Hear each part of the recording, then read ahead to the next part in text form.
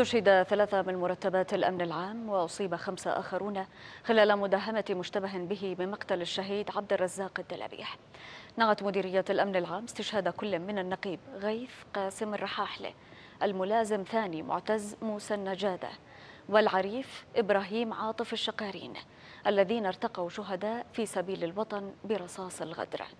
وقالت مديرية الأمن العام في بيان إن المشتبه به وهو من حملة الفكر التكفيري قتل أثناء المداهمة كما جرى ضبط ثمانية أشخاص آخرين والتحقيقات جارية معهم. وأكدت أن التحقيقات في القضية ومع المقبوض عليهم مستمرة لحين إحالتهم إلى القضاء. نعت القيادة العامة للقوات المسلحة الأردنية الجيش العربي استشهاد النقيب غيث قاسم الرحاحلة والملازم معتز موسى النجادة والعريف إبراهيم عاطف الشقارين من مرتبات مديرية الأمن العام خلال مداهمة مشتبه به بمقتل الشهيد الدلابيح صباح هذا اليوم.